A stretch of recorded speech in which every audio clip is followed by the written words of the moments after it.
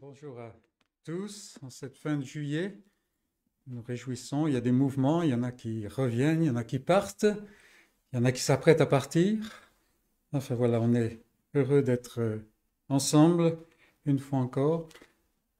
Nous allons commencer notre culte avec une lecture, brève lecture, vous pouvez simplement écouter, c'est dans le livre de Josué, chapitre 5, et à partir du verset 13, il y a trois versets, nous lisons la parole de Dieu.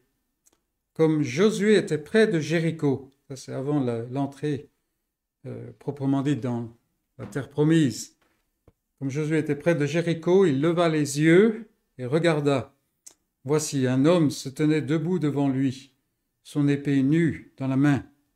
Il alla vers lui et lui dit, Es-tu des nôtres ou de nos ennemis? Il répondit, Non, mais je suis le chef de l'armée de l'Éternel. J'arrive maintenant. Josué tomba le visage contre terre, adora et dit, Qu'est-ce que mon Seigneur dit à son serviteur?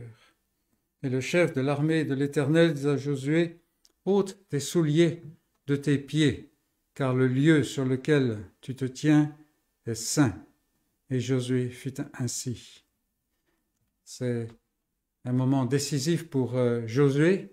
Il est, on ne peut pas dire qu'il est jeune, mais disons que pour la première fois, il n'y a plus l'ancien à côté de lui. Il est face à une tâche qui est énorme, la conquête de la terre promise, avec sept peuples à déloger, ce qu'ils n'arriveront pas à faire d'ailleurs. Et déjà, il a eu une parole de l'Éternel, déjà, il a été encouragé par le peuple, mais ici, il rencontre celui qui est évidemment euh, celui qui sera le Fils de Dieu qui viendra. Euh, et il vient pour lui montrer que la force est avec eux. Je vous invite à devant, devant le Seigneur dans la prière. Prions. Seigneur notre Dieu, tu nous as réunis une fois encore, que ce soit à distance ou ici, ensemble. Et Seigneur, nous levons les yeux vers toi parce que nous savons que tu ne fais rien pour rien, mais que si tu réunis ton peuple, c'est parce que tu veux parler. Et nous allons ouvrir ta parole, nous allons chanter tes louanges, euh, nous allons euh, nous placer sous ta volonté en entendant ce que tu as à nous dire. Et nous te demandons, Seigneur, que tu te plaises dans ta grâce de nous oindre de ton Saint-Esprit, parce que par nous-mêmes, même les choses les plus saintes, nous ne pouvons les saisir que de manière charnelle. Ce n'est que quand ton esprit œuvre et euh, repose sur nous, Seigneur, que nous pouvons nous approcher de toi d'une manière digne. Nous te demandons, Seigneur, de euh, nous conduire, de nous donner, d'être réconfortés jusque dans l'homme intérieur. Nous euh, te présentons aussi ceux d'entre nous qui ne sont pas avec nous en ce moment, pour diverses raisons, Seigneur, en te demandant que tu sois avec eux, en te demandant que tu sois avec ton peuple partout dans, sur cette terre, ton peuple qui se réunit dans euh, diverses situations très variées, mais avec un même cœur, ce cœur que tu as touché en Jésus-Christ. Sois donc avec ton peuple, Seigneur, et glorifie-toi au sein des tiens. Nous te prions, Jésus-Christ. Amen. Notre premier cantique ce matin, c'est le numéro 5. L'Éternel seul est Seigneur. Seul il est libérateur, seul il est dominateur. Le numéro 5.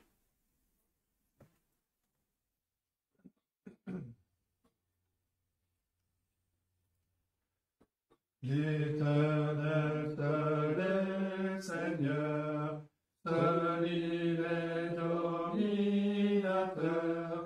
dominateur,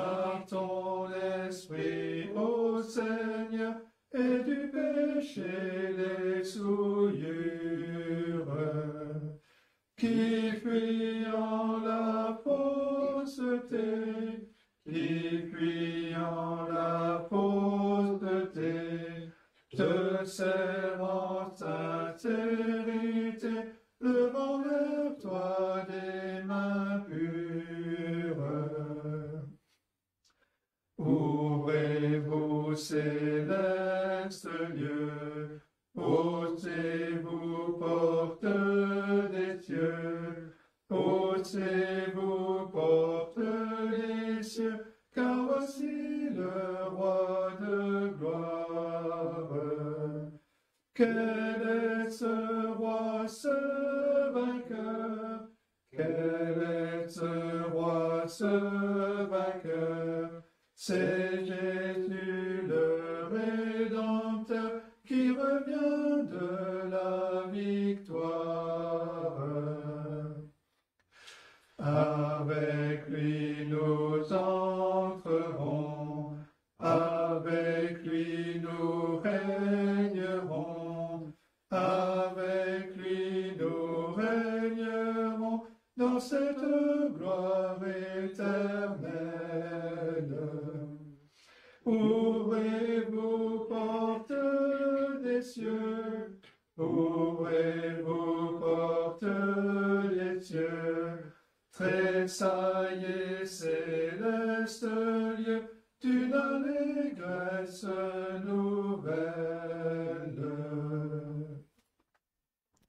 Un très beau cantique à partir du psaume 24 qui nous parle de la victoire de Christ. Ça vaut le coup de passer du temps pour le méditer pendant la semaine. Pour notre première lecture, je vous invite à ouvrir la parole de Dieu dans l'Évangile selon Jean, chapitre 19. L'Évangile selon Jean, chapitre 19. Et nous commencerons la lecture au verset 17. Jésus, portant sa croix, arriva au lieu du crâne, qui se nomme en hébreu Golgotha. C'est là qu'il fut crucifié et deux autres avec lui, un de chaque côté et Jésus au milieu. Pilate fit une inscription qu'il plaça sur la croix et qui était ainsi conçue. Jésus de Nazareth, roi des Juifs. Beaucoup de Juifs lurent cette inscription parce que le lieu où Jésus fut crucifié était près de la ville. Elle était en hébreu, en grec et en latin. Les principaux sacrificateurs des Juifs dirent à Pilate N'écris pas roi des Juifs, mais écris qu'il a dit Je suis le roi des Juifs. Pilate répondit Ce que j'ai écrit, je l'ai écrit. Les soldats, après avoir crucifié Jésus, prirent ses vêtements et ils en firent quatre parts, une part pour chaque soldat. Ils prirent aussi sa tunique, qui était sans couture, d'un seul tissu, depuis le haut jusqu'en bas. Et ils dirent entre eux, Ne la déchirons pas, mais tirons au sort à qui elle sera. Cela arriva afin que s'accomplisse cette parole de l'Écriture. Ils se sont partagés mes vêtements, et ils ont tiré au sort ma tunique.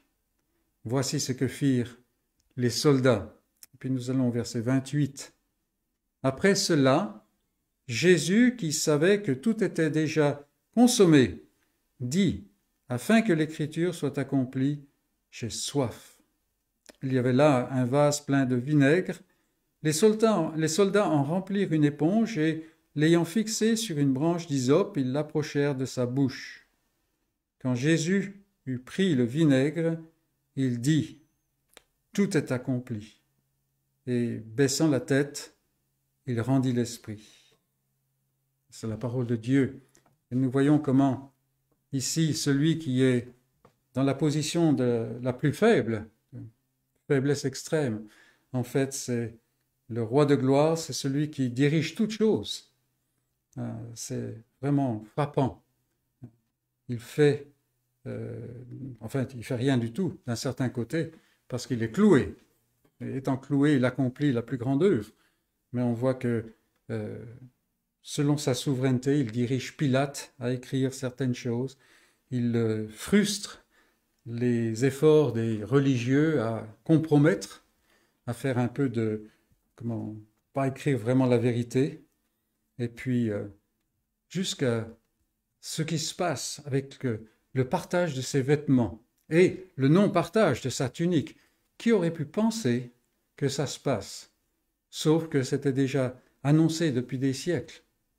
Donc là, on voit que Dieu est en contrôle et celui qui est sur la croix aussi. Et puis, nous voyons euh, ce dernier, enfin, ces dernières paroles, tout est accompli. Et c'est un, un rappel pour chacun d'entre nous. C'est un enseignement pour ceux qui ne connaissent pas vraiment la grâce du Seigneur qu'il n'y a plus rien à faire. Je dis un rappel parce que souvent, souvent, cette chair qui ne cesse de nous accompagner, cherche à faire quelque chose. On n'arrive pas à s'en débarrasser. Hein. Si seulement on était plus euh, euh, comment, frustré par cela. Mais tout est accompli. C'est fini. On ne peut plus rien ajouter. Et ça, c'est l'évangile, le, vrai évangile. Réjouissons-nous donc de cette euh, vérité. Et nous allons chanter maintenant au 236. Agneau de Dieu, messager de la grâce.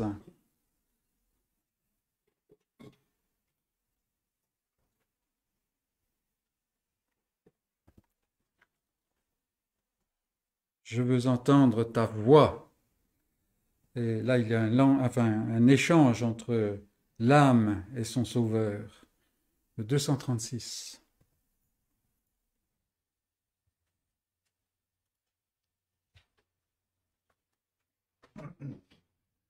Agneau de Dieu, messager de la grâce, je veux entendre ta voix, le langage de la croix. Pour toi je fus livré, méprisé, maltraité, battu, meurtri, bêté, pour ton iniquité. Agneau de Dieu, messager j'ai péché, je viens à toi, je t'invoquerai pour moi.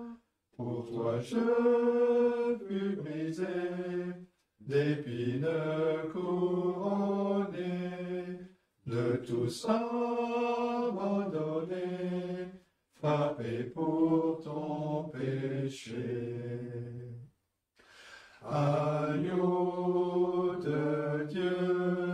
Messager de la grâce, je me confie et je crois, ton pardon je le reçois, sur l'enfant racheté, qui fait ma volonté, je mets ma sainteté, ma divine beauté.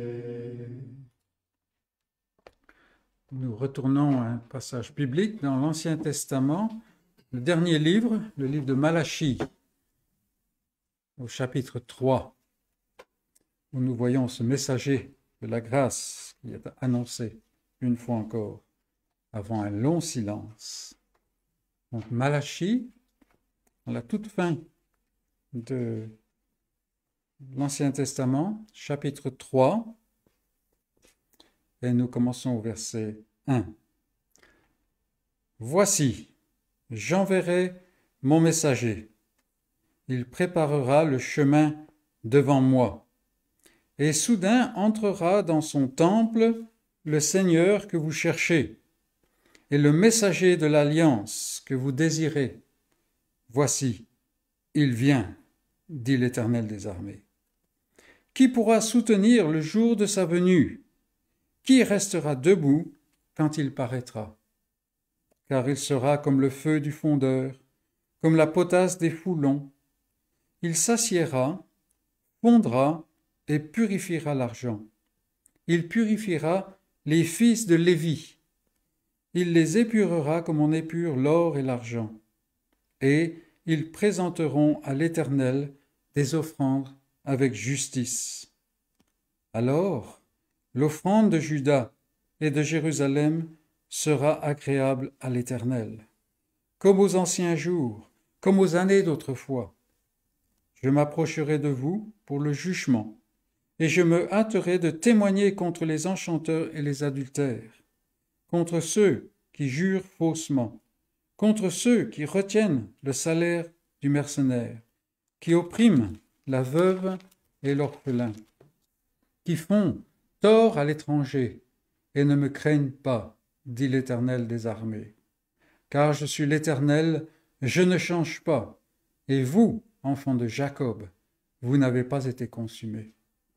Et dans ce passage, c'est vraiment frappant. il y a des tas de choses, bien sûr, mais c'est vraiment frappant comme on voit d'une part l'alliance de, de l'Éternel, l'alliance de Dieu, et comme il dit à la fin, je ne change pas. Et c'est la seule euh, raison pour laquelle euh, le monde continue. Le monde euh, a la permission de continuer, malgré le fait que l'homme et même le peuple de Dieu est dans un triste état. Dieu ne change pas et c'est notre seule, comment, seule espérance, notre seul soutien ne change pas parce que déjà il a oint son roi en Sion. Mais on voit ici euh, Malachie, enfin Dieu s'adresse à travers Malachie euh, aux Juifs après, assez longtemps en fait, après le retour de captivité. Et on voit qu'en fait rien n'a changé.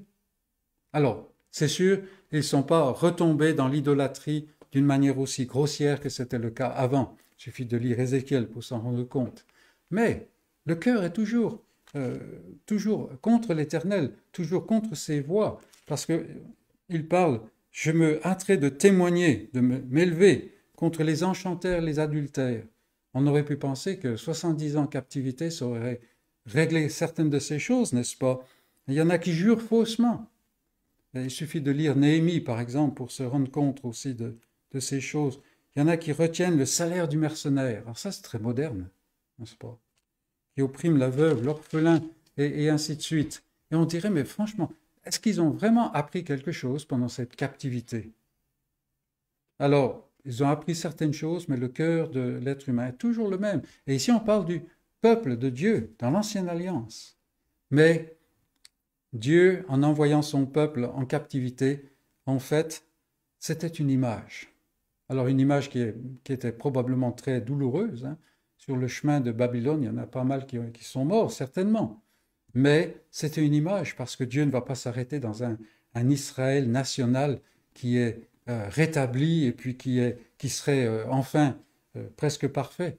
Non, il vise la nouvelle alliance. C'est pour ça, au début, il parle de ce messager de l'alliance. Enfin, son, son messager, c'est bien sûr Jean-Baptiste. Mais ensuite, on a le messager de l'alliance. Et celui-là, c'est celui qui vient dans son temple. Voilà ce qu'il vise. Et tous les, tous les prophètes le visent, et les prophètes qu'on appelle post-exiliques, après le, retour, hein, euh, Zacharie, euh, Malachi, et ainsi de suite, tous ces, prophètes montrent que même s'il y a eu un retour, ça vise quelque chose d'autre. C'est simplement une image d'un certain côté. Et gardons-nous, euh, gardons cela à l'esprit pour nous encourager, parce que la vie aujourd'hui, même la vie euh, dans le Seigneur, c'est rempli de frustration. Frustration contre soi-même, frustration dans le monde et tout ça. Si seulement il pouvait nous enlever du monde tout de suite, ça serait bien. Euh, bon, il ne le fait pas, hein. mais un jour vient. Et autant les gens de l'Ancien Testament vivaient dans l'espérance de celui qui doit venir, nous vivons, ou nous sommes appelés par Dieu à vivre dans l'espérance de celui qui doit revenir. Et c'est la grande espérance de l'Église. Et donc nous nous réjouissons de cela, n'est-ce pas? Nous voulons nous réjouir de cela et que ces choses soient plus fortes que les choses qui nous, qui nous font traîner, n'est-ce pas? Je vous invite à vous courber avec moi devant le Seigneur dans la prière. Venons devant lui. Seigneur notre Dieu, tu es le Dieu vivant, celui qui est source de vie, qui est vie, tu es vie en toi-même, et tu donnes la vie, et tu te plais à donner la vie. Tu ne te plais pas de la mort du méchant, bien qu'elle se, se produise, parce qu'il est méchant. Mais avant tout, Seigneur, tu es ce Dieu de vie, et parce que tu es le Dieu de vie, tu es le Dieu de grâce aussi. Sinon, nous ne saurions même pas que tu existes. Mais tu t'es révélé, et nous nous réjouissons, Seigneur, de ce que, dans ces vieux écrits en termes du monde, nous pouvons trouver des choses qui nous parlent encore aujourd'hui, et qui nous parlent avec force, et que ton esprit plante dans notre cœur, et que nous pouvons savourer, et que nous pouvons vivre. Ô Seigneur, combien ton peuple est béni. Combien nous sommes bénis, Seigneur, et nous savons que nous avons des frères et sœurs partout sur toute la terre. Nous pouvons aller dans des endroits reculés. Mais là, il y a des âmes que tu as touchées, même si personne ne les connaît.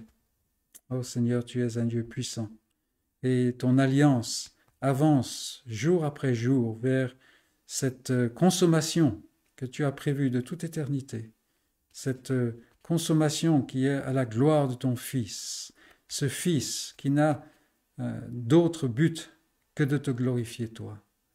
Seigneur, donne-nous de saisir ces choses, non pas de les saisir simplement intellectuellement comme des informations, mais Seigneur, d'avoir le cœur saisi par la puissance de la vérité, par la force de la vérité. Et Seigneur, que ce soit euh, cette grande motivation de notre vie, de sorte que les gens sachent que nous sommes avec Jésus. Seigneur, nous te louons de ce que nous pouvons nous revoir une fois encore. Nous te prions pour ceux qui ne sont pas avec nous. Nous prions en particulier pour euh, Wayne, Laure et euh, les jeunes.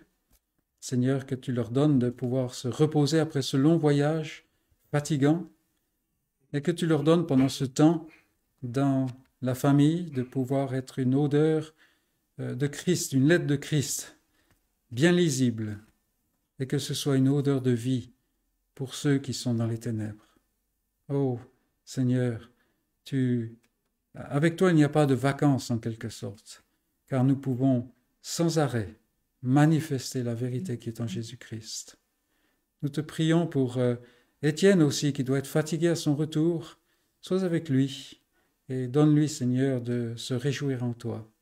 Sois avec Wendy, hein, qui se prépare à revenir, et donne-lui de vivre cette semaine comme une semaine qui passe vite, parce que c'est pas facile d'être entre deux endroits.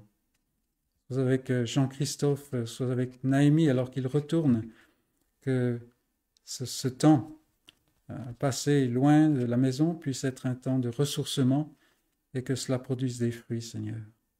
Et nous te prions pour d'autres qui sont plus loin de nous, ceux qui sont engagés dans ton, œuvre.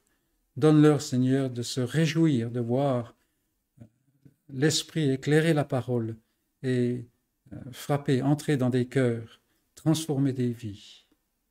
Nous te prions aussi en particulier pour euh, tes serviteurs qui prennent de l'âge, qui sont maintenant assis sur le bord de la voie et qui peuvent être tentés de, de regarder avec nostalgie vers le passé.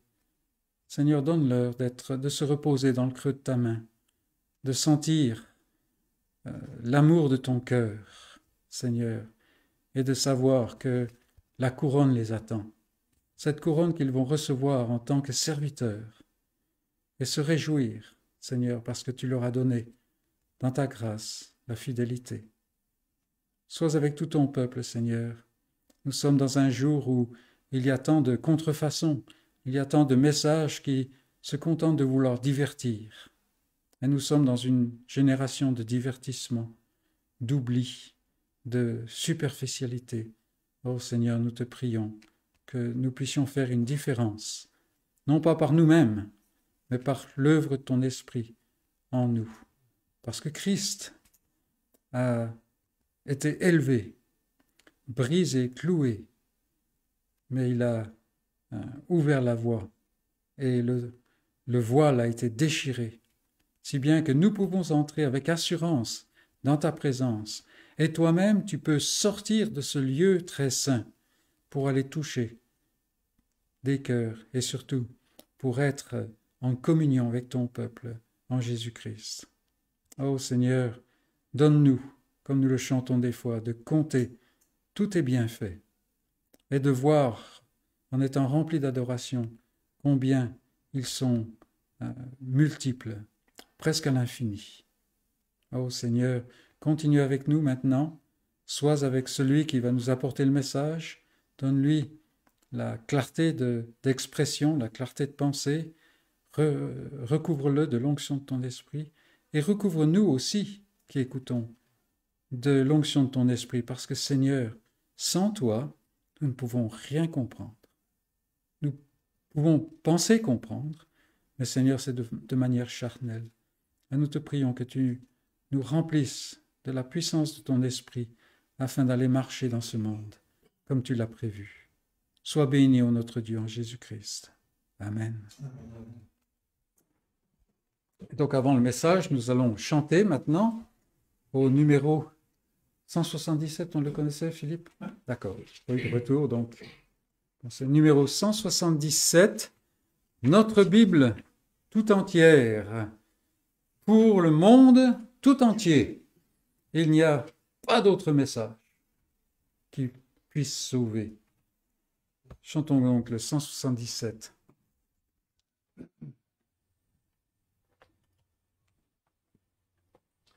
Notre Bible tout entière, pour le monde tout entier, quel guide et quel éclaire,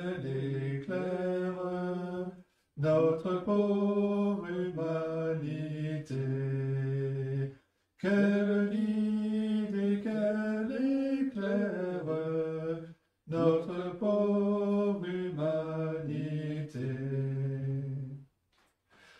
car la Bible est la lumière sur le plus obscur sentier. Christ est la tout sur lui doit s'édifier. Christ est la pierre angulaire, tout sur lui doit s'édifier. Notre monde de misère cherche à quel chef se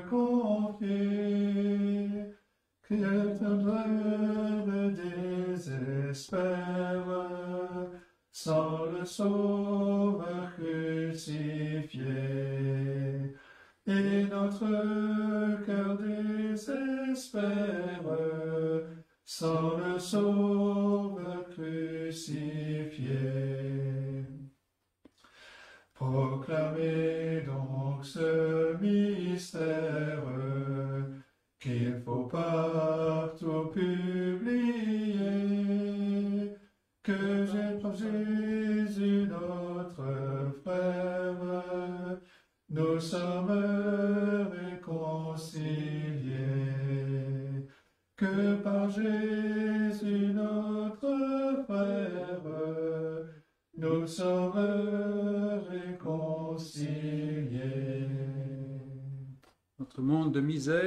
misère cherche à quel chef se confier. Il n'y a pas grand choix, n'est-ce pas? Venons à la parole de Dieu.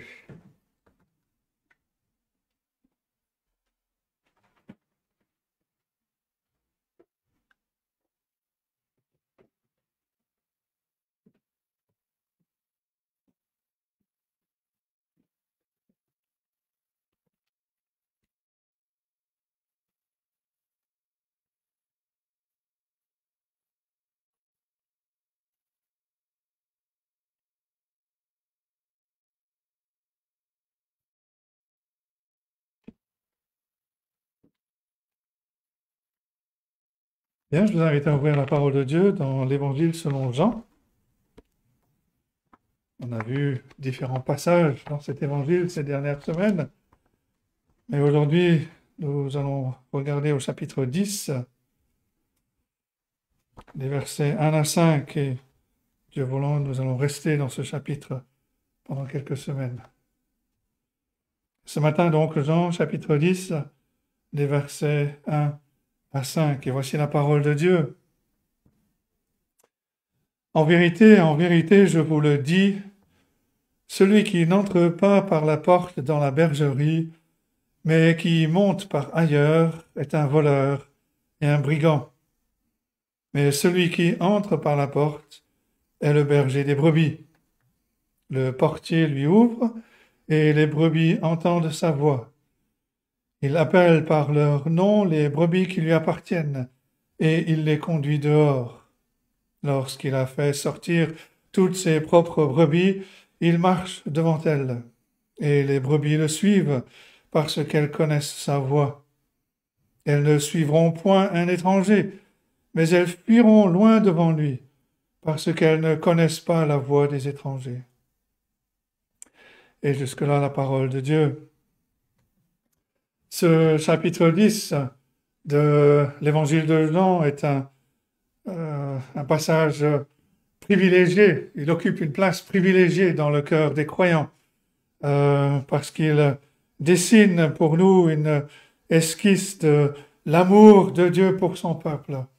Euh, il est ce berger qui aime son peuple comme le troupeau de son pâturage, pour reprendre une expression du psaume 79.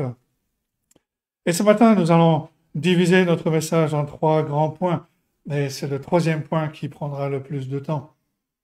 Le premier point que je voulais souligner, c'est les voleurs et les brigands. Ce que le Seigneur euh, Jésus dit dans ce chapitre 10 euh, n'a pas été prononcé dans un cadre serein. Euh, la chose la plus importante qu'un berger puisse faire, c'est de défendre ses brebis. Euh, des voleurs euh, et des loups. Et c'est ce que euh, le Seigneur Jésus-Christ est venu faire dans le chapitre 9 de cet évangile. Jean raconte comment le Seigneur est, est tombé sur l'une des brebis perdues d'Israël, un pauvre mendiant à la porte du temple qui était aveugle depuis sa naissance. Et le Seigneur a merveilleusement restauré la vue de cet homme. Mais les chefs religieux étaient hostiles et ils ont immédiatement assailli l'homme avec toutes sortes de questions. Et bien que cet homme était vulnérable, il était exposé aux yeux de tous, il a constaté qu'il n'était pas seul parce que le berger prenait soin de ses brebis. Et le Seigneur commence son enseignement sur euh, les vrais et les faux bergers en délivrant cette euh, parabole euh, que l'on connaît dans tout ce chapitre d'ailleurs. Euh, il s'inspire d'images qui étaient familières pour ses auditeurs. Et bien sûr, il commence avec sa formule habituelle pour introduire un enseignement qui est solennel, qui est important. En vérité, en vérité, je vous le dis, celui qui n'entre pas par la porte dans la bergerie, mais qui monte par ailleurs est un voleur et un brigand. Euh, en fait, on devrait, on parle souvent de parabole, mais ici on devrait plutôt parler d'allégorie, parce qu'il utilise quelque chose que les, Israélites connaissaient et il en retire un enseignement. À cette époque, la plupart des villes possédaient un enclos, un enclos commun, une bergerie, où les différents bergers apportaient leurs troupeaux. Et toutes les brebis étaient rassemblées dans cette même bergerie, dans ce même enclos. L'enclos était entouré de, murs qui étaient euh, suffisamment hauts pour protéger euh, les troupeaux. Et il y avait quelqu'un, un portier, qui était payé pour euh, s'assurer de la garde de cet endroit. Mais différentes, les brebis de différents troupeaux étaient présents dans cet enclos. Et quand le berger venait chercher ses brebis, il se présentait au portier pour que le portier lui donne l'autorisation euh, d'entrer dans l'enclos. Et ensuite, le berger appelait ses brebis. Il appelait non seulement avec d'un appel général, mais il les appelait aussi par euh, leur petit nom. Je ne sais pas quel genre de nom on peut donner à des brebis, euh, longues oreilles, piétantes, ou ce genre de, de nom. Mais lorsque les brebis reconnaissaient la voix de, du berger, les brebis venaient les autres, elles, elles ne reconnaissaient pas cette voix. Mais les brebis du berger venaient et le suivaient.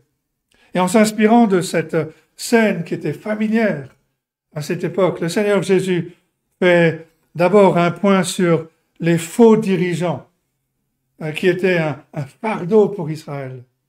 En vérité, en vérité, je vous le dis, celui qui n'entre pas par la porte dans la bergerie, mais qui monte par ailleurs est un voleur et un brigand. C'est de cette façon que le Seigneur dénonce les, pharisiens, les faux enseignants, les faux bergers. Une des choses que le gardien devait surveiller, bien sûr, c'était les voleurs et les brigands qui essayaient d'escalader les murs pour entrer dans cet enclos pour voler les brebis, en particulier pendant la nuit. Et Jean utilise deux mots ici. Euh, il utilise le mot qu'on traduit par voleur. En grec, c'est le mot kleptes, et en français, ça donne kleptomane, celui qui vole. Et l'autre mot qui est traduit par brigand, euh, c'est un mot qui signifie un, celui qui, un agresseur qui utilise euh, la violence. Et Jean utilise, et il utilise donc, le Seigneur Jésus utilise ces deux mots pour euh, décrire les, les, les, motivations de ces faux chefs religieux. Euh, d'Israël. Leur ministère n'était pas consacré au bien du peuple, mais à leur propre profit. Et pour cela, ils étaient prêts à utiliser une certaine violence spirituelle. Euh, rien que dans le chapitre précédent, chapitre 9, l'excommunication de cet homme que le Seigneur a euh, pour lui, leur méthode comme les voleurs qui tentent de se faufiler par-dessus le mur, ces faux dirigeants euh, ont essayé d'instaurer une autorité illégitime sur le peuple.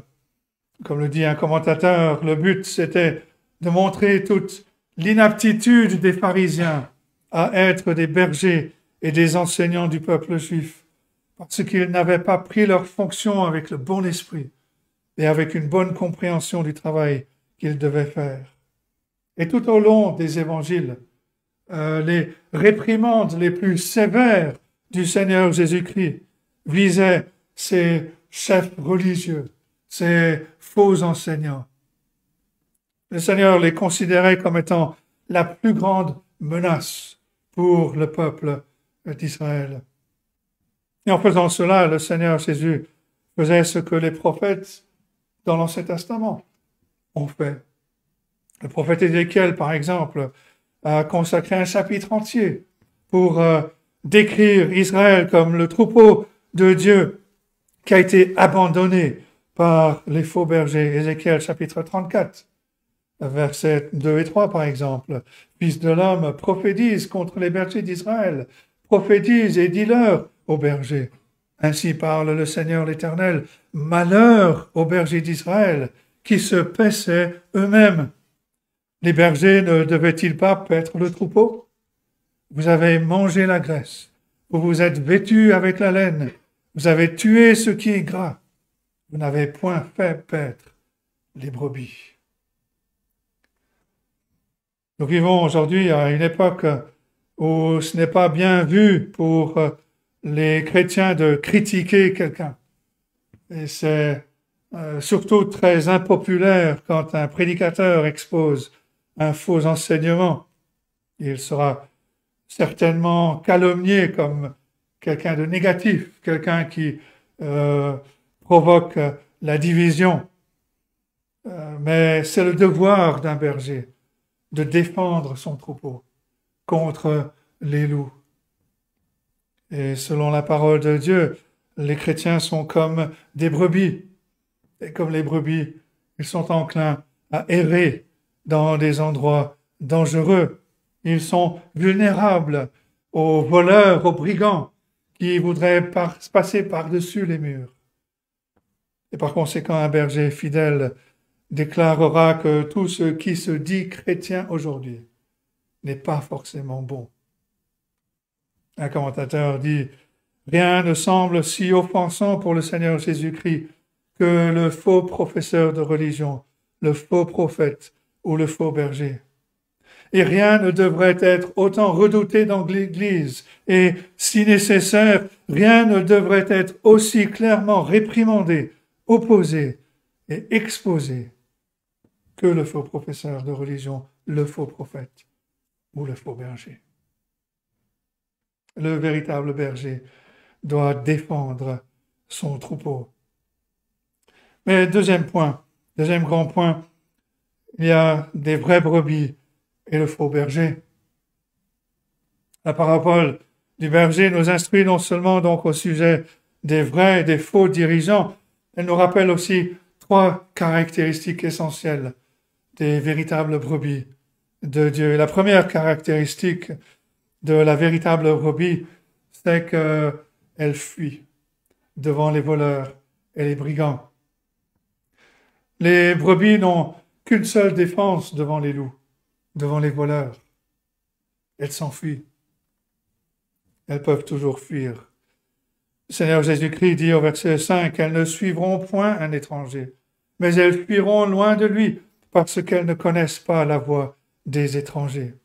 Les brebis connaissent la voix de leur berger. Elles ne viennent que lorsque leur berger les appelle. Et de la même façon, même si les chrétiens peuvent parfois être confus ou euh, induits en erreur, ils finiront par reconnaître, par voir cette erreur et par fuir. C'est probablement le sens de cette déclaration de l'apôtre Jean dans sa première lettre au chapitre 2 et au verset 20.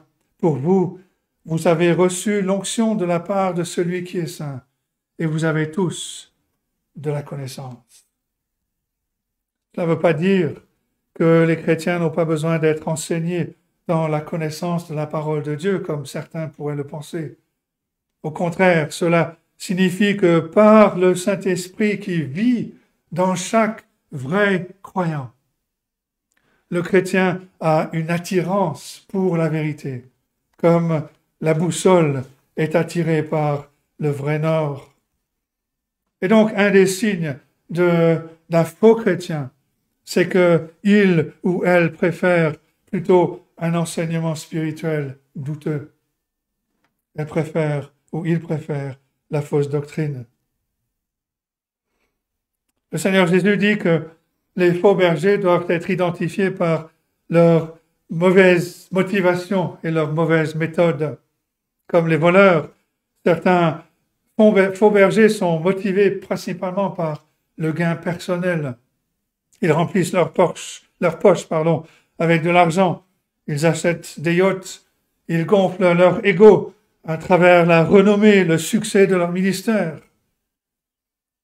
Le vrai chrétien devrait se rendre compte que ce n'est pas la motivation d'un authentique serviteur de Jésus-Christ. Et pourtant, aujourd'hui encore, des millions de gens affluent pour entendre euh, tous ces faux évangiles, l'évangile de la prospérité comme on l'appelle. ces faux enseignants qui promettent des choses matérielles, une santé radieuse à ceux qui soutiennent leur ministère. C'est un ministère qu'ils prétendent être loin de l'esprit. Mais leur ministère euh, existe principalement à travers les dons financiers avec lesquels ces faux prophètes achètent leur villa et leur vie de richesse matérielle. En revanche, les vrais serviteurs de Dieu comme le bon berger sont motivés par le bien-être spirituel du troupeau et non par la richesse ou la gloire personnelle. Et au lieu de trafiquer la parole de Dieu, les vrais bergers enseignent la parole de Dieu et, ses doctrines de manière claire, de manière la plus simple possible. Ils enseignent le message de la croix de Christ et non un message de réconfort et de gloire terrestre. Les faux bergers peuvent aussi être identifiés par leur mauvaise méthode. C'est ce que le Seigneur Jésus veut dire au verset 1 quand il dit que le voleur est celui qui n'entre pas par la porte dans la bergerie, mais qui y monte par ailleurs. Et au temps du Seigneur Jésus-Christ, les pharisiens ont fait un mauvais usage de la loi pour construire leur propre pouvoir sur le fondement d'une justice par les œuvres. Euh, de nos jours, les, faux docteurs, les faux bergers utilisent toutes sortes de tactiques, les tactiques du cinéma, d'Hollywood, euh, avec ses divertissements, ses paillettes, ses lumières, en utilisant les, manipulations subtiles euh, des agences de publicité pour gagner le plus grand nombre d'adeptes. Mais le vrai berger s'en tiendra aux voix de Dieu, telles qu'elles sont enseignées dans sa parole. Malheureusement, nous vivons dans une époque où la valeur d'un berger, d'un pasteur chrétien, est principalement évaluée par le nombre de personnes présentes aux réunions, plutôt que par la piété de ses motivations et la fidélité biblique de ses méthodes. Et aujourd'hui, de multitudes sont exposées aux fraudes de toutes sortes. Les deux marques des faux bergers cités par le Seigneur Jésus-Christ, les mauvaises motivations, les mauvaises méthodes, sont les plus grandes menaces pour le christianisme aujourd'hui. Des menaces qui sont plus grandes que tout ennemi venant de l'extérieur. Mais l'enseignement du Seigneur Jésus sur les faux bergers implique aussi un devoir pour ces brebis. Elles doivent reconnaître et refuser l'appel des faux bergers. Peu d'entre nous, par exemple, confieraient une affaire judiciaire à un avocat incompétent ou euh, on, on ne confierait pas nos corps à un mauvais médecin. Et on ne devrait pas agir autrement quand il s'agit de la question encore plus vitale de nos âmes. Cela, bien sûr, exige l'apprentissage du discernement qui passe par une étude sérieuse de la parole de Dieu. Et grâce aux effets transformateurs de l'étude régulière de la parole de Dieu, comme le dit l'apôtre Paul en Romains 12, verset 1, nous pourrons discerner quelle est la volonté de Dieu, ce qui est bon, agréable et parfait. Mais ce discernement est de plus en plus rare aujourd'hui parmi ceux qui se disent croyants. Le fait que tant de chrétiens choisissent une église en fonction de facteurs tels que le style ou la qualité de la musique, la richesse ou la taille de l'assemblée, la personnalité du pasteur ou euh, l'excitation dans le culte plutôt que la piété des bergers et la solidité de l'enseignement peut-être la plus grande cause d'inquiétude pour l'Église d'aujourd'hui. On a vu les voleurs, les brigands, on a vu les vrais brebis, les faux bergers. Troisième grand point, le véritable berger. Aucun responsable humain ne sera jamais à la hauteur du Seigneur Jésus-Christ, bien que les vrais serviteurs de Jésus-Christ lui ressemblent dans leur motivation, dans leur méthode. Mais il n'y a qu'un seul véritable berger, le Seigneur Jésus-Christ lui-même. Et par conséquent, le plus grand problème avec les pharisiens, c'était leur opposition à Jésus. Quand il annonce qu'il est le Messie, Jésus affirme, verset 2, Mais celui qui entre par la porte est le berger des brebis. Le portier lui ouvre. Et il souligne ici trois grandes affirmations qui le concernent. Trois grandes affirmations qui concernent le Seigneur Jésus-Christ. La première affirmation, c'est qu'il entre par la porte et le portier lui ouvre. Mais qu'est-ce que le Seigneur Jésus sous-entend quand il parle de porte et quand il parle de portier? Dans le contexte de l'évangile de Jean, il est clair que Jésus fait référence à la légitimité de son affirmation en tant que Messie, Messie qui a été prononcé, qui a été annoncé, pardon, depuis euh, l'Ancien Testament. L'enclos, c'est Israël. La porte, c'est la voie choisie par Dieu, par laquelle le Messie viendrait. Et le portier, c'est le témoignage prophétique des Écritures de l'Ancien Testament.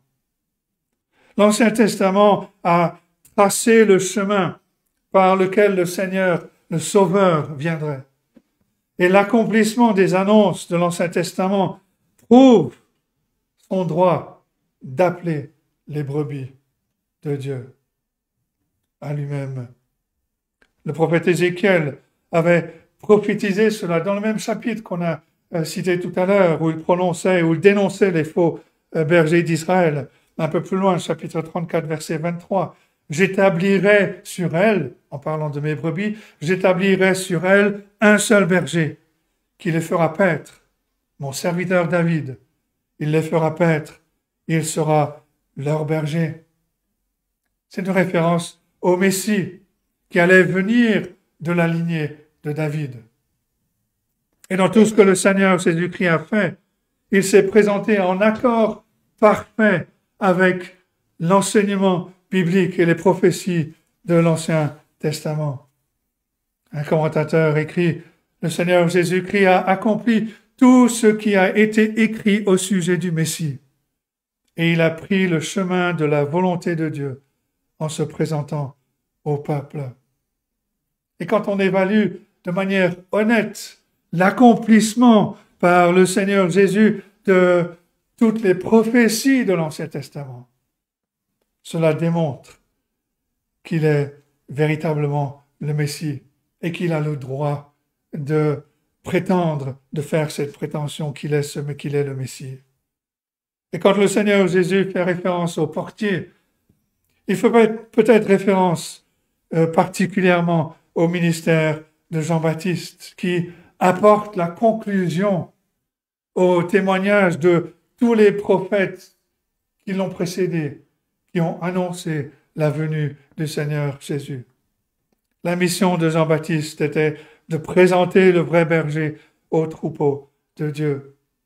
Jean 1, verset 31, Jean-Baptiste dit, c'est afin qu'il soit manifesté à Israël que je suis venu baptiser d'eau. En représentant tous les prophètes de l'Ancien Testament, Jean-Baptiste était le portier qui a présenté le Seigneur Jésus-Christ à la bergerie d'Israël. La première affirmation, il entre par la porte, le portier lui ouvre. La deuxième affirmation concerne l'appel du vrai berger à ses brebis, verset 3. Les brebis entendent sa voix. Il l'appelle par leur nom les brebis qui lui appartiennent et il les conduit dehors. C'est une merveilleuse réalité à laquelle tous les vrais croyants peuvent attester. Comment sommes-nous venus à Christ? Comment sommes-nous devenus chrétiens? C'est parce que le Seigneur Jésus-Christ nous a appelés par notre nom. Et cela répond au besoin, au plus grand besoin de l'âme humaine d'être appelée à être en communion avec Dieu. Et cela par la voix du Sauveur qui nous appelle par notre nom. Bien entendu, le Seigneur Jésus appelle le monde entier avec une offre de salut qui est sincère. Le plus grand exemple, le plus grand de ces appels a été donné quelques jours euh, auparavant, quand euh, le Seigneur a crié à la foule qui était rassemblée pour la fête des tabernacles en, Jean 7, verset 37, Si quelqu'un a soif, qu'il vienne à moi et qu'il boive. Et ici en Jean 10, un peu plus loin, au verset 9, il répète cette invitation, Je suis la porte, si quelqu'un entre par moi, il sera sauvé. Le Seigneur nous invite à examiner le témoignage de la parole, de la Bible à son sujet, y compris toutes les, les nombreuses prophéties de l'Ancien Testament, ces prophéties qu'il a accomplies pendant sa vie. Mais il nous invite à regarder le témoignage oculaire dans le Nouveau Testament et à venir nous présenter à lui la porte par laquelle nous entrons dans la présence de Dieu. Mais ici, dans ces premiers versets de Jean 10, Jésus se réfère à quelque chose d'autre que cet appel général. Il parle de l'appel particulier, l'appel efficace, par lequel le vrai berger appelle ses brebis, ses brebis que le Père lui a données pour qu'elles croient et qu'elles soient sauvées. Verset 3, les brebis entendent sa voix, il appelle par leur nom les brebis qui lui appartiennent et il les conduit dehors. Quelque chose de merveilleux de savoir que le Seigneur Jésus connaît le nom de chacun de ses brebis avant même que nous, que nous allions à lui. Ce chapitre 10 de l'évangile de Jean est un des grands chapitres qui souligne la souveraineté de Dieu dans le choix de son peuple et l'appel efficace de ses élus. Et ici, le Seigneur Jésus dit que notre salut commence par son appel personnel à tous ceux qu'il connaît déjà par leur nom. Dans un autre passage un peu plus, long, un peu plus, plus tôt dans cet évangile, dans le chapitre 6, verset 36 et suivant, le Seigneur a dit, mais je vous l'ai, je vous l'ai dit, vous, vous m'avez vu et vous ne croyez point. Tous ceux que le Père me donne viendront à moi, et je ne mettrai pas dehors celui qui vient à moi. Car je suis descendu du ciel pour faire non ma volonté, mais la volonté de celui qui m'a envoyé. Or, la volonté de celui qui m'a envoyé, c'est que je ne perde aucun de tous ceux qu'il m'a donnés, mais que je les ressuscite au dernier jour. La volonté de mon Père, c'est que quiconque voit le Fils et croit en lui ait la vie éternelle, et je le ressusciterai au dernier jour. C'est Jean 6, verset 36 à 40. Et dans le Nouveau Testament, on a beaucoup d'exemples du Seigneur Jésus qui appelle personnellement et de manière efficace les brebis à lui-même. Euh, l'exemple de Matthieu, par exemple, le collecteur d'impôts. Euh, Jésus est venu, il lui dit, suis-moi. Matthieu s'est levé et il l'a suivi. Euh, Zachée, le patron des collecteurs d'impôts à Jéricho. Jésus qui passait par là l'a appelé par son nom Luc 19, verset 5, Zachée, hâte-toi de descendre, car il faut que je demeure aujourd'hui dans ta maison. Mais l'appel le plus dramatique sans doute l'appel de Lazare, quand Lazare était dans la tombe. Le Seigneur Jésus s'est tenu devant cette tombe et s'est écrié en Jean 11, verset 43, Lazare, sort. Et le mort est sorti, nous dit Jean 11, 44 le mort sorti. Et cela montre la puissance du Seigneur Jésus quand il appelle le pécheur qui est spirituellement mort. Il l'appelle au salut et à la vie éternelle. La caractéristique particulière des élus, c'est qu'ils répondent à la voix du Seigneur Jésus. Rappelez-vous par exemple euh, l'appel de euh, Jésus à Marie-Madeleine euh, le matin de sa résurrection.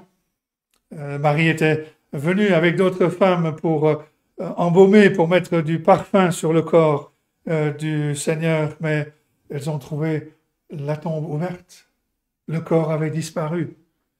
Le Seigneur lui est apparu, mais elle était confuse. Elle pensait que c'était le jardinier.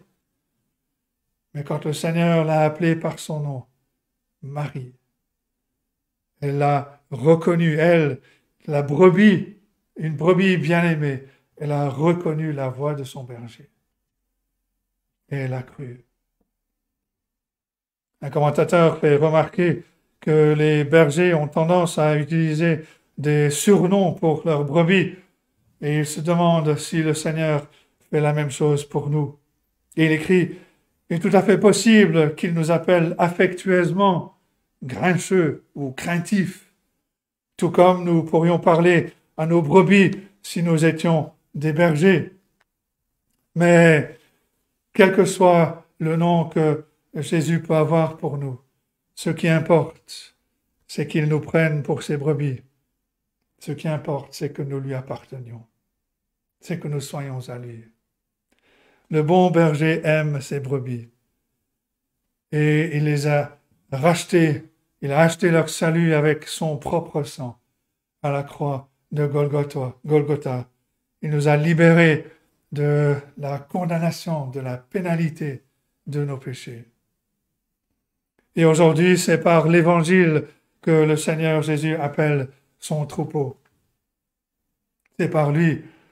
Si l'on entend sa voix, si on reconnaît, si on le reconnaît comme le sauveur de notre âme, la brebis, elle, entend la voix et elle vient à la, au berger dans la foi et la repentance. On a dit plutôt que les vraies brebis ne suivront pas les faux bergers. La deuxième caractéristique de la vraie brebis, c'est qu'ayant ayant refusé de suivre les faux bergers, elle reconnaît la voix du vrai berger et elle répond quand il appelle. Et cela est vrai dans, la conversion.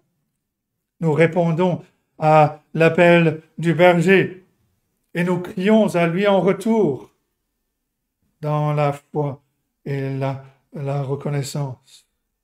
Mais cela est tout, aussi, cela est vrai tout au long de la vie chrétienne.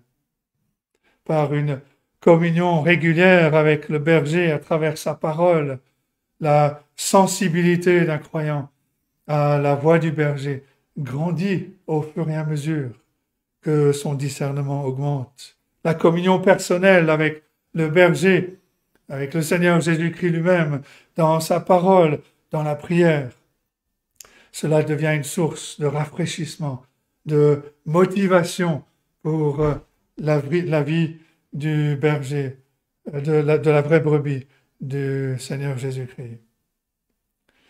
On a dit que le Seigneur a fait trois affirmations.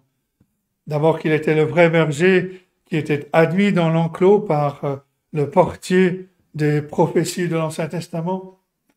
Ensuite, qu'en tant que véritable berger, il est reconnu par la vraie brebis. Ça nous amène à la troisième affirmation. Troisième affirmation, c'est que le vrai berger conduit ses brebis hors de l'enclos et elles le suivent. Verset 3 et 4, le portier lui ouvre. Les brebis entendent sa voix. Il appelle par leur nom les brebis qui lui appartiennent et il les conduit dehors. Lorsqu'il a fait sortir toutes ses propres brebis, il marche devant elles et les brebis le suivent parce qu'elles connaissent sa voix. Pour les auditeurs de cette parabole, la bergerie était Israël, où le peuple de Dieu était rassemblé pour attendre le Messie. Et plus loin dans ce chapitre, Jésus va parler d'autres personnes qui se trouvent dans différents enclos à travers le monde. Verset 16. J'ai encore d'autres brebis qui ne sont pas de cette bergerie. Celles-là, il faut que je les amène. Elles entendront ma voix et il y aura un seul troupeau, un seul berger. Et le point ici le Seigneur est en train de faire, c'est que, euh, nous, que nous soyons venus à croire au Seigneur Jésus-Christ en venant du judaïsme ou d'une autre religion, de tout autre arrière-plan, lorsque nous le suivons, nous laissons notre ancienne identité pour entrer dans son troupeau. Personne qui suit le Seigneur Jésus aujourd'hui ne reste ce qu'il ou elle a été avant de connaître le Seigneur Jésus-Christ. Nous ne pensons plus à nous-mêmes en termes de classe sociale, de race, de tribu ou de nation. Nous pensons à nous en termes de notre relation avec le Seigneur Jésus-Christ. Et depuis le jour où le Seigneur a prononcé ces paroles, il a conduit ses brebis hors de toutes sortes de bergeries, hors de la religion nominale et fausse, hors du matérialisme, hors de l'idolâtrie, hors de l'humanisme séculier, hors de l'ignorance, hors de la philosophie vaine. Et le Seigneur Jésus nous conduit hors de ces bergeries mondaines pour nous faire entrer dans l'Église, son troupeau bien-aimé, et dans les verts pâturages de son salut. Et ce qui est plus encore, important encore, c'est ce que le Seigneur Jésus dit, qu'il conduit son troupeau et ses brebis le suivent. Notre Seigneur ne nous conduit pas de façon brutale, mais il marche devant nous. Il nous appelle à venir avec lui, à le suivre. Le prophète Ésaïe avait annoncé en Ésaïe 40, verset 11, comme un berger, il pètera son troupeau. Il prendra les agneaux dans ses bras et les portera dans son sein. Il conduira les brebis L'une des tâches les plus importantes de tout berger est d'aller devant le troupeau, de chasser les prédateurs, de préparer les pâturages verts et d'enlever les plantes toxiques. C'est de cette façon que le Seigneur marche devant nous. Après tout, où est-ce que le Seigneur Jésus-Christ se dirigeait quand il a dit ces choses? Il se dirigeait vers la croix. Il se dirigeait vers Golgotha, là où, en tant que bon berger, il a donné sa vie pour ses brebis, où il a enlevé la condamnation de, pour nos péchés, il a enlevé la condamnation de la loi, puisqu'il l'a subi lui-même. Le Seigneur nous a précédés dans notre combat avec la tentation. Il a détruit la puissance du royaume de Satan. Il nous a donné sa parole pour nous conduire dans les chemins de justice. Il nous a précédés jusque dans la vallée de la mort pour consacrer, mais aussi pour vaincre la tombe, afin que les verts pâturages du ciel attendent tous ceux qui lui appartiennent. C'est donc la troisième caractéristique de la vraie brebis de Christ. Elle le suit. Elle ne suit pas les faux bergers. Elle reconnaît la voix du vrai berger et elle répond quand il appelle. Et maintenant, elle suit le vrai berger. Et c'est la question pour nous ce matin. Est-ce que nous suivons le Seigneur Jésus? Ou est-ce que nous, nous contentons d'une apparence? Est-ce que nous nous consacrons à l'étude de la parole, une étude sérieuse? Ou est-ce que nous sommes trop occupés avec les poursuites du monde? Est-ce que notre style de vie est modelé sur la vie que le Seigneur Jésus a vécue avant nous. Est-ce que notre attitude à l'égard du temps, de l'argent, des personnes et des priorités de la vie ressemble de plus en plus à l'attitude que le Seigneur Jésus-Christ nous a montrée? Si nous sommes une véritable brebis, mais que nous avons du mal à suivre le Seigneur, alors il faut sentir un jour sa houlette, son bâton, nous rattraper pour nous ramener dans le droit chemin, comme le berger le fait avec la brebis. La façon dont nous savons que nous appartenons au Seigneur, c'est de le suivre comme des brebis qui obéissent à la voix du berger. Le Seigneur appelle chacune de ces brebis à le suivre. Les brebis qui sont sages sont celles qui ont toujours les yeux fixés sur lui. Elles connaissent l'amour de leur berger. Elles savent qu'il n'a pas hésité à donner sa propre vie pour qu'elle lui appartienne. Et leur désir est d'être le plus proche possible de lui, d'entendre le plus souvent possible le son joyeux de sa voix, de cette voix qui les a appelés à lui-même, et de le suivre sur le chemin, partout où il les emmène, jusque dans l'éternité. Voilà le bon berger. Et la question pour nous, est-ce que nous suivons ce bon berger? Que Dieu donc nous aide à méditer sur ces choses et qu'il bénisse sa parole à nos cœurs. Amen.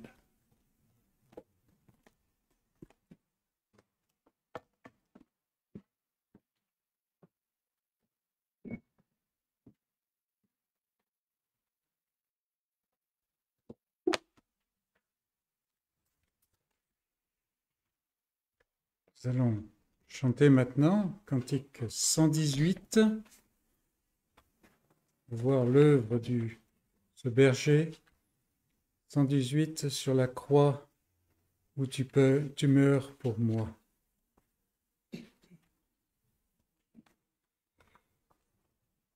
Je te contemple par la foi. 118.